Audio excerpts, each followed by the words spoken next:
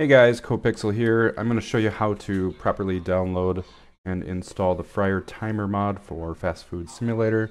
Before we download the actual mod itself, we need UE4SS and we need to make a couple changes in the files. So um, if you're on the Fryer Timer mod page on in Nexus Mods here, um, just make sure that you're, you're in requirements here. Click on this UE4SS, it should open up a new tab. And then click the latest release right here. And then we're going to uh, download the top one here, the zip file. And then we are going to uh, open that up, make it a little bit smaller so we can see what we're doing here. We're going to go into uh, Fast Food Simulator in Steam. I'm going to right click, go to Manage, and browse local files. Uh, so we want to have kind of these two open right here. We're going to go to Project Bakery, binaries, Win64.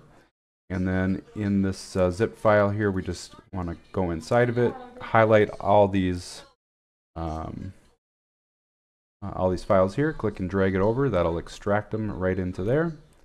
Uh, we're going to go into the UE4SS settings.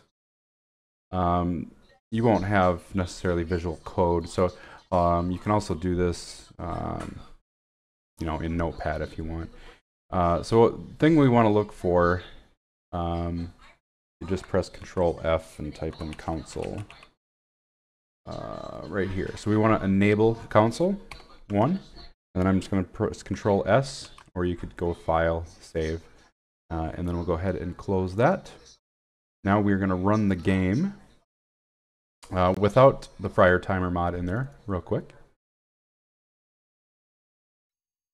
And notice you have this um, this console back here. Don't close it, uh, just minus it down.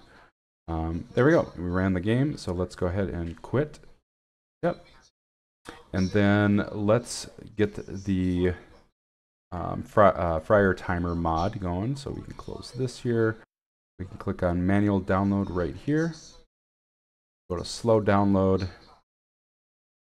And we should uh, see the Fryer timer mod right here. Uh, yep, we're already inside of the, the zip folder. So we're going to click on mods right here. And we're just going to drag that right over to here. And then we should be good to go. We'll just open up the game again. Again, leave this uh, running in the background so it actually uh, runs the mod.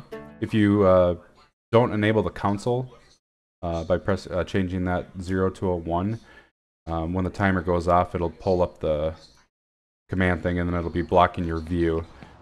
So let's just test this by throwing some fries in uh, one of the fryers here. And when it gets to 90%, um, let me minus this down right here. Make this a little bit bigger. Um, when it gets to 90%, it should uh, go off. And then if you come down here and highlight, you can see, um, I don't know I guess what's going on in the background, but it's not important. Just don't close that. I guess while that's uh, going, we can pretend that we're just, you know, making a burger, doing other things, not really paying attention to the fries. Maybe get turn on our computer and grabbing our different ingredients.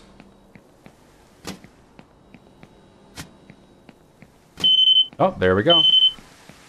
And as soon as you lift that up, timer shuts off. So that's how you install it. All right, thanks for watching.